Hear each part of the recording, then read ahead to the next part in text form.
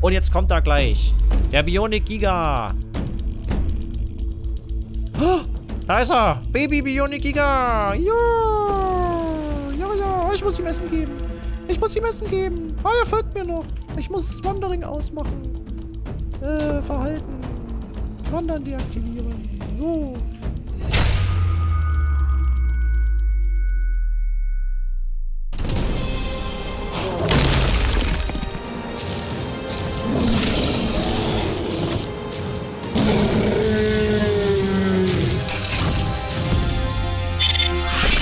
Moinsen und herzlich willkommen zurück zu meinem Let's Play Ark Survival Evolved mit der Mod Eternal von der Map Ragnarok. Rechts neben mir steht das Bionic Giga Ei und dieses Ei braucht jetzt nur noch, schauen wir mal, 8 Minuten. Und bevor dieses Ei jetzt in 8 Minuten gleich ausschlüpfen wird, möchte ich euch an der Stelle nochmal ein paar Sachen zeigen und auf ein paar Dinge hinweisen. Also zuerst mal wird euch aufgefallen sein, hier drin ist es jetzt verdammt leer geworden. Das liegt daran, ich habe ein bisschen angebaut. Und zwar habe ich mal die Zeit hier genutzt, die Stunden, in denen das Ei hier vor sich hin brütet und habe hier mal einen kleinen Anbau erzeugt. Ja, also hier so für die etwas kleineren Tiere, die aber irgendwie immer die Angewohnheit haben, so ein bisschen im Weg rumzustehen. Ja, und damit meine ich auch den Elektrobär. Ja, den meine ich damit auch. Die habe ich jetzt mal hier geparkt in diesem kleinen Anbau.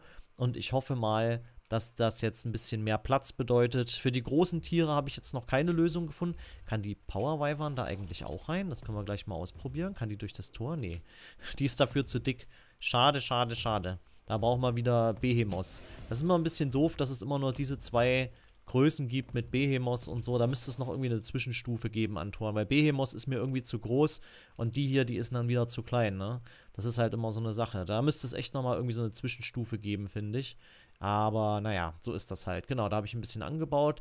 Jetzt haben wir zumindest hier in unserem Hangar quasi, haben wir ein bisschen mehr Platz. Den Drachen, den habe ich jetzt mal auch hier draußen stehen lassen. Hoffentlich ist das nicht fatal, wenn er dann weggesnackt wird. Weil wir brauchen ja jetzt hier doch ein bisschen Platz. Auch für das Evolvieren von dem Allosaurus brauchen wir noch Platz. Und dann brauchen wir natürlich auch für das Giga-Baby Platz. Das ist ja ganz wichtig hier an der Stelle. Ich möchte euch jetzt auch gleich auch nochmal auf etwas hinweisen.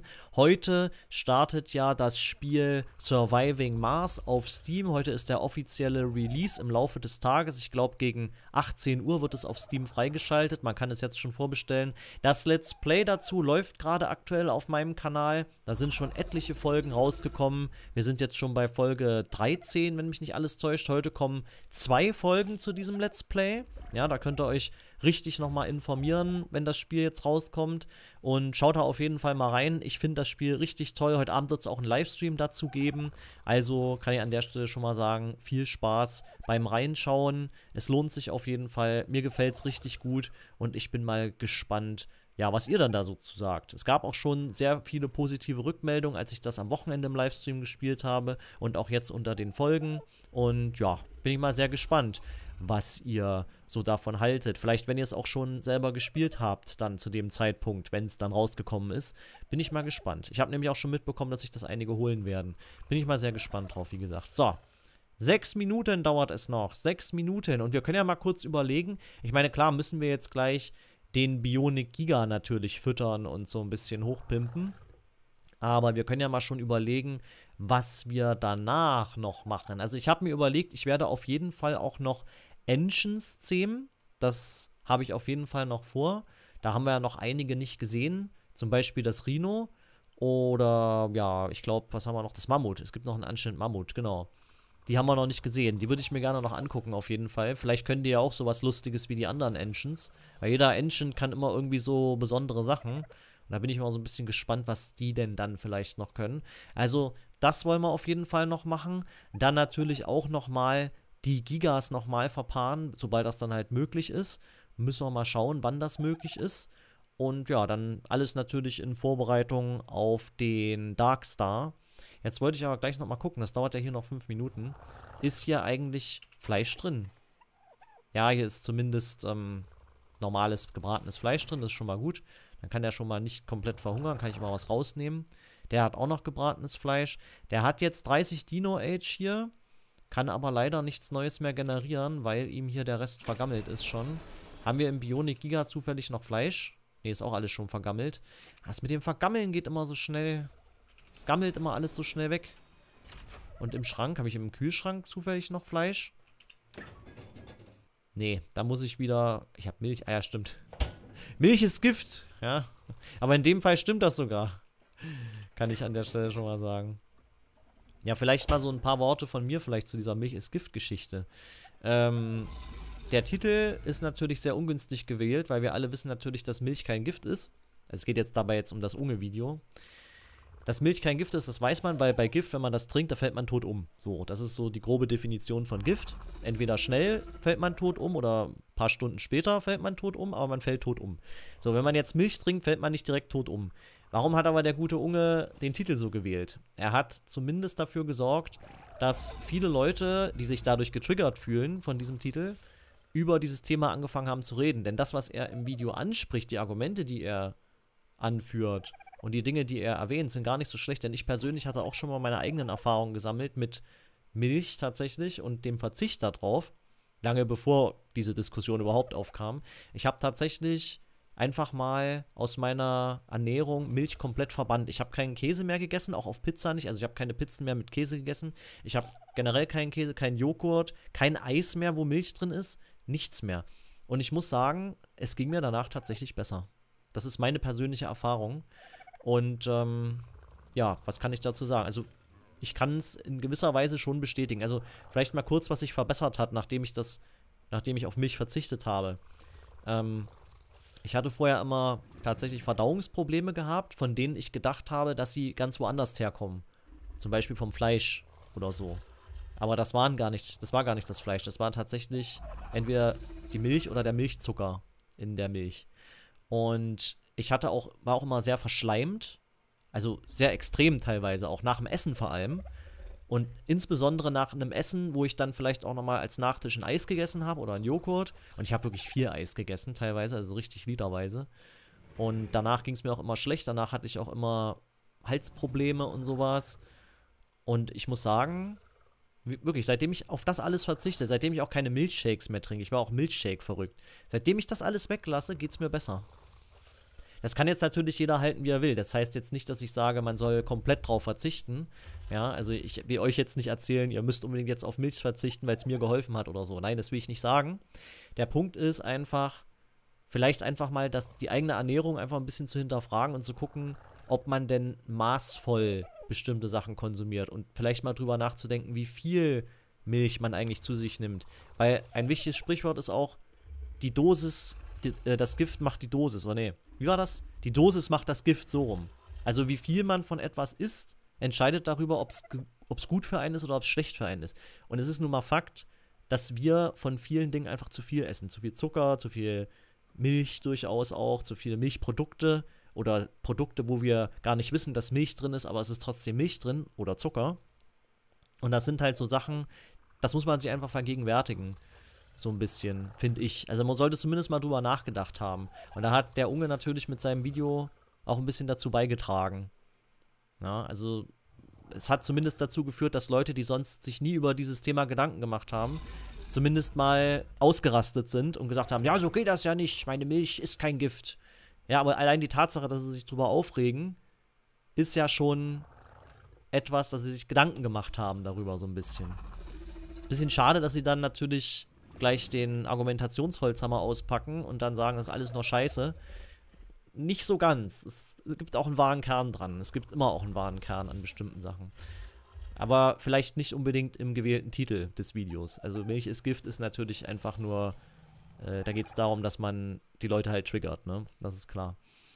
Genau, das wollte ich auch mal sagen an der Stelle. Ist mir so ein bisschen unter Nägeln gebrannt, weil ich da auch meine eigenen Erfahrungen mit dem Thema gemacht habe.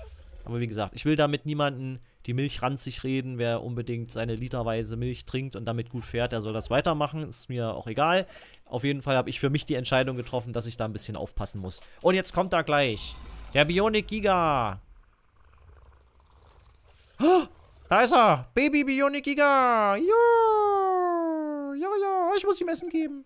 Ich muss ihm Essen geben. Ah, er folgt mir noch. Ich muss Wandering ausmachen. Äh, Verhalten. Wandern deaktivieren. So. Warte, warte, warte. Nicht verhungern, nicht verhungern. Du kriegst gleich mal was. Du kriegst hier was Tolles. Was Feines. hoffe, der frisst das auch. Aber er sollte ja eigentlich Fleisch essen, oder?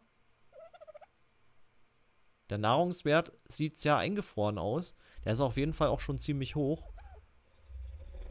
Oh, der hat ernsthaft? Sehe ich das richtig? Ah, nee, ich wollte gerade sagen. Ich dachte gerade, der hat 73 Millionen Leben, aber ich bin wieder mal in der Spalte hier verrutscht. Das sind 7 Millionen Leben. 7 Millionen Leben hat der, okay. Der verliert gar keinen Food. Ah, doch, ganz langsam nur. Okay, alles klar. Nahkampfschaden, 2477. Da hat er den hohen Wert bekommen, oder? Ich glaube schon. Auf jeden Fall wird er ja auch nochmal imprintet. Das dauert auch gar nicht mehr so lange. Das dauert noch eine Stunde und 34 Minuten, bis man den imprinten kann. Das sollte auch eigentlich klappen, dass man den voll imprinten kann, auf jeden Fall. Genau, ein Weibchen ist es. Jawohl, das ist schön. Dann können wir mehr züchten wieder. Aber es ist auch witzig eigentlich, ne? Wie der kleine Baby-Bionik-Giga eigentlich genauso aussieht wie ein großer Bionik-Giga. Also so, es ist einfach nur eine kleinere Version davon. Komm mal hier rüber. Komm mal her. Komm. Ich muss mal hier die Follow-Distance auf, auf niedrig stellen. Optionen. Ne, sterilisieren wollen wir den nicht. Folgeabstand niedrig. Ja, genau. Ah, der Wendekreis. Den Wendekreis hat er auch geerbt von den Eltern. Was macht er da? Oh Gott. Oh mein Gott. mein Gott, ist das klein. Hat er schon gegessen? Ja, einmal hat er... Ah, hier, kann ein Steak reinnehmen hier. Gibt's ja gar nicht hier. So schnell wächst der ja.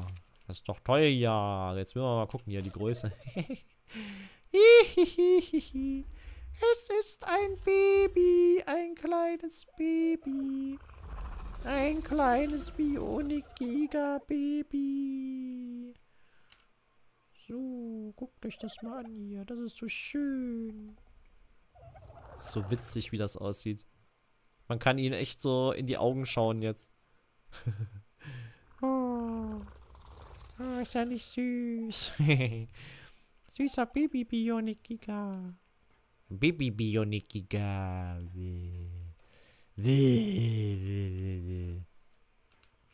Putzig. Auf jeden Fall. Aber wir müssen noch mal kurz warten, bevor wir jetzt irgendwo anders hingehen. Ich will dem durchaus noch ein bisschen mehr Fleisch zustecken. Ich weiß, ich weiß nicht, wie schnell der frisst. Er frisst anscheinend nicht so schnell, aber ich glaube, das ist schon gar nicht so schlecht, wenn wir dem ein bisschen was zugesteckt haben, bevor wir irgendwo hingehen. Bevor wir jetzt irgendwas machen. Ich will jetzt auf jeden Fall auch nochmal gucken. Genau, wir, äh, wir gehen jetzt mal kurz rüber zum Boss Summoner und dann will ich mal gucken, wie das ist, was wir da brauchen, um die Engines, die anderen beiden noch zu beschwören. Und ob da noch mehr Engines waren oder ob das jetzt nur noch das Mammut war, was offen war und das ähm, Nashorn, das Rhino. Wow, was ist denn hier los? Hier haben sie sich wieder lieb. Was ist denn das? Wartet mal bitte. Der Agentavis, der macht sie hier alle platt. Wow. Mit der Weihwahn anzugreifen ist echt ein minimales Krämpfchen. Lande mal. Wir müssen die mal kurz wegholen da, sonst stören die mich. Sonst stören die mich gleich, wenn ich hier... Wenn ich hier gleich beschwören will. Beziehungsweise wenn ich hier gleich gucken will. Genau, weg sind sie. Haha. Hahaha. Ha, Oh, das ist ein Giftwolf. Ein Poisonwolf. Den müssen wir noch wegschnecken. Du musst leider weichen. Wäh. Das ist hier ein Prime-Wolf. Wo kommen die denn jetzt her, die Wölfe hier? Du musst auch leider weichen. Weiche, Dämon. Weiche. So, jetzt mal reingucken hier. Irgendwas noch hinter mir? Nee. Alles klar. Gucken. Matrix. Engines. Gorilla. Mammut. Rhino. Cats. Dodorex.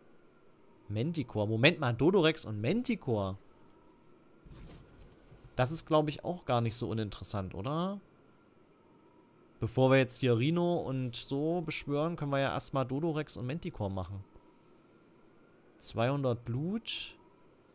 10 Dino-Herzen und ein Matrix... Ach ja, Matrix-Cores. Mm, das war ja die Sache. Mit den Matrix-Cores. Haben wir da überhaupt genug? Ich muss mal gucken, wie viel ich jetzt noch habe von den Matrix-Cores. Das ist jetzt so eine Frage. Lande mal, Weiwan. Lande mal. Matrix-Cores. Matrix, weil die brauchen wir ja auch für den Allo. Halt, warte mal, wir haben ja jetzt Prime Meat. Das können wir gleich mal dem Alu zustecken, wo ich es gerade, wo ich gerade dran denken muss. Hier, wir haben doch hier lecker Prime Met. Das braucht er doch. Der Alu. Muss man dem mal geben. Hier, du kriegst das Zeug. Kannst du wieder Dino Age machen. Wunderbar. Wir brauchen ja noch fünf. Genau, 5 Dino Age. Alpha-Kibbel haben wir, glaube ich, auch noch genug. DNA, da, da. Und ein Matrix-Core, genau. Also ihr habt mir gesagt, nach dem Allosaurus kommt irgendwie noch ein Rex, ein Dodo-Rex oder so, glaube ich. Oh Gott, jetzt darf ich nichts Falsches sagen. Entweder kam noch ein Dodo-Rex und ein Giga oder es kam nur ein Giga danach. Und dann kam erst irgendwie der Darkstar. Also es gibt noch ein paar Stufen hin zum Darkstar. Das heißt, wir brauchen noch mindestens, also wir brauchen noch einen, zwei, drei, vier, ich schätze mal vier Matrix-Cores brauchen wir noch. Und wie viel haben wir jetzt noch? Müssen wir mal gucken. Wir haben noch, kann er hier filtern.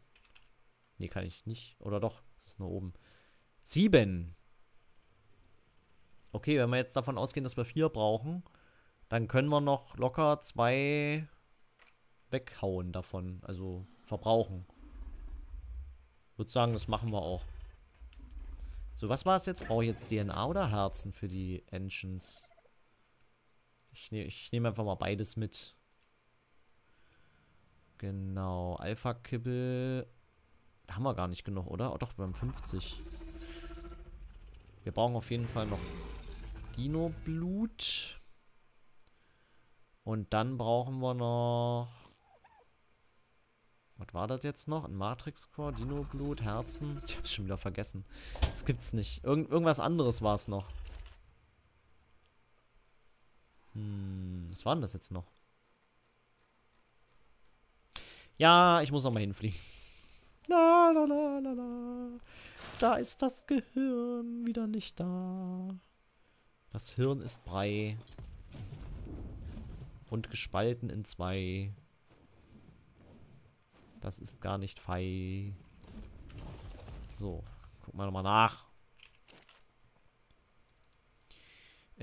schön. Stodorex. Ne, doch, wir haben doch alles. Ne, haben wir nicht. Fällt dir nur Blut. Äh, hast du noch was? Hast du noch Blut? Nö. Ah, komm hier. Wir werden doch jetzt wo hier in der Lage sein, mal ein bisschen Dino-Blut zusammenzufahren. Das kann ja doch nicht wahr sein. Oh. Vielleicht nicht unbedingt von dem da. Vielleicht eher so von so Normalo-Viechern. Normalo-Eternal-Viechern. Ist mal die Frage, wo sind sie, wenn man sie mal braucht? Die Normalo-Eternal-Viecher, die einen mal ein bisschen Dino-Blut rüberschieben können. Hier so ein Argentavis zum Beispiel, so ein Gift-Argentavis. Das ist doch gar nicht schlecht. Komm mal her, du Nebelkrähe. Triff ihn. Ja, komm runter, genau. ja, wie er mir kein Blut gibt. Ich wusste es einfach. Aber ich habe wieder Primate, das ist auch gut. Ich brauche doch nur ein bisschen Blut. Ich brauche nicht mal viel. Ich brauche nicht mal 20. Hier, hier, hier, du hast jetzt Blut dabei. Das, das habe ich jetzt entschieden. Lande mal. Kannst du mich runtergraben? Ich hoffe nicht. Haha, ja. Was, nur zwei Einheiten Dino-Blut? Sind die alle blutleer hier oder was? Das gibt's ja gar nicht. Warum sind die alle so leer? Jetzt, jetzt, jetzt hier, hier, hier, ihn check. Ja, 19 Einheiten, sauber. Warte, halt, halt, halt, dein Primate brauche ich auch noch. Dein Prime Meat brauchen wir noch für den Alu. Dino Age. Dino Age brauchen wir noch. Dann können wir gleich mal gucken. Jetzt haben wir doch. Ja, 203. Und wir haben noch einen XP Potion. Ich werde mich dann gleich mal mit der Spinne rüber bewegen. Und hier seht ihr auch nochmal, wie ich den Außenbau gebaut habe. Das habe ich natürlich mit S Plus gebaut. Ja, und ich habe das versucht auch so ein bisschen nicht ganz so eckig zu machen. Also hier so ein bisschen mit so einer Abkantung, mit so einer schrägen. Dass es halt nicht so langweilig aussieht. Dass es halt nicht einfach nur ein Kasten ist, sondern dass es schon ein bisschen Struktur hat. Ein bisschen, ein kleines bisschen interessant. Ein bisschen Ästhetik. So ein bisschen. Ein kleines bisschen. So, du kriegst nochmal Fleisch, genau. Du hier kriegst noch die, äh, das Prime Meat. Und zwar hier, hier, hier, hier. Das brauchen wir. Hier, hier, hier, hier. Lalala. Gib mir das Prime Meat. Ich weiß, ich könnte hier oben auch filtern, aber und dann Transfer All machen. Das ginge auch. Das kann ich sogar mal demonstrieren. Hä? Warum? Ach so, weil es Deutsch ist, ne? Rohes Filet, okay. Rohes Filet. Alles übertragen. Genau. So geht das. Da muss ich nicht ständig nur hier eins. Ach so, ja, das ist ja der. Nein! Den falschen habe ich das gegeben. Du kriegst das nicht. Brauchst gar nicht weiterfressen. Rohes Filet. Genau. So. Kann er hier weiter Dino Age produzieren, bis die Schwarte knackt. Genau. Haben wir noch irgendwas? Ach ja, genau. Ich brauche ja Ancient Orbs auch, um die Viecher zu zähmen. Müssen wir mal schnell hier gucken. Haben wir hier noch Ancient Orbs gehabt? Ancient Orbs? Ja, guck mal. Hier, Ancient Orbs. Alles feini. Genau, dann nehmen wir uns dann jetzt als nächstes den die äh, Thekla hier, die Spinne. Und dann betäuben wir den Ancient Dodorex, würde ich sagen. Den will ich unbedingt mir nochmal angucken. Jetzt würde ich aber sagen, meine lieben Freunde, an dieser Stelle ist auch wieder diese Folge zu Ende. Wir sehen uns wieder in der nächsten Folge Ark Survive the Wolf mit der Mod Eternal von der Map Ragnarok. Dann beschwören wir am Boss Summoner den Ancient Dodorex und zähmen den. Dann bin ich mal gespannt, ob der auch Minions beschwören kann oder nicht. Oder was der dann so Tolles kann.